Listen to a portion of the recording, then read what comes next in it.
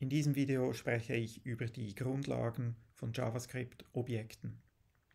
Ein Objekt ist ein möglicher Wert in JavaScript und wie ein Array ist auch ein Objekt eine Sammlung von Werten.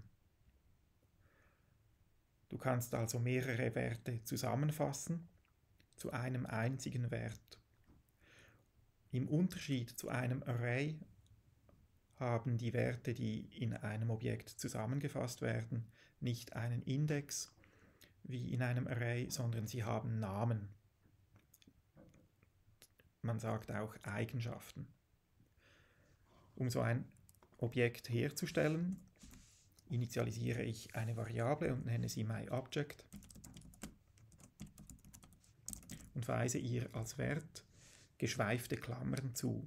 Die schreibst du mit Alt 8. Wie ein Array könnte ich auch ein Objekt leer initialisieren, aber ich schreibe hier jetzt gleich ein paar solcher Eigenschaften hinein. Eine nenne ich x und als Doppelpunkt, also mit dem Doppelpunkt, weise ich dem x einen Wert zu, zum Beispiel 100.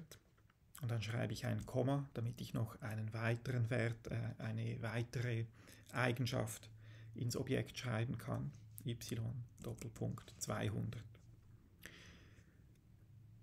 Solche Eigenschaften und Werte, solche Paare werden Eigenschaft-Wert-Paar genannt, auf Englisch auch Key Value, also Schlüssel und Wert, oder Property Value genannt.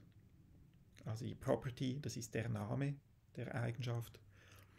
Und eben auf Englisch wird auch von Key gesprochen, weil du kannst den Namen als Schlüssel zum entsprechenden Wert verstehen. Und wichtig ist, dass du hier Doppelpunkte schreibst und nicht Gleichzeichen. Aber du kannst diese Eigenschaften, die hier x und y heißen, durchaus als eine Art interne Variable eines Objekts verstehen. Und jetzt kann ich auf diese einzelnen Werte 100 und 200 zugreifen mit ihren Namen. Ich kann schreiben console log my object und dann mit einem Punkt und darum heißt es Punktschreibweise oder Dot Notation auf Englisch, kann ich auf so einen einzelnen Wert zugreifen. Also myObject.x, das gibt mir 100. Oder myObject.y, das gibt mir 200.